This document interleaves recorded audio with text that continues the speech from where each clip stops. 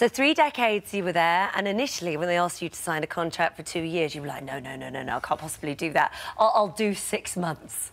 True, true. Um, I was a jobbing actor. I was lucky enough to be in fairly regular work. Yeah. And to go into one thing for two years just seemed like a, a life sentence. Yeah, well, well So, so what happened? well, I agreed to do six months. Yeah. And that sort of flew. Uh, so I signed another six-month contract, and then a s- uh, I think uh, then a year. So that was the two years that we argued about in the first place. Yeah. yeah. And uh, after that, the contracts have been three years and five years and those sort of lengths of time.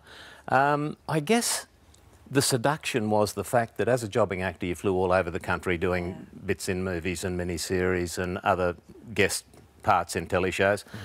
Um, to actually go home to your own bed each night and get up and wake up in the, in the same city as you're working in was pretty seductive And unique, actually. and unique. Just that, yeah. What were the expectations when you first joined in '88?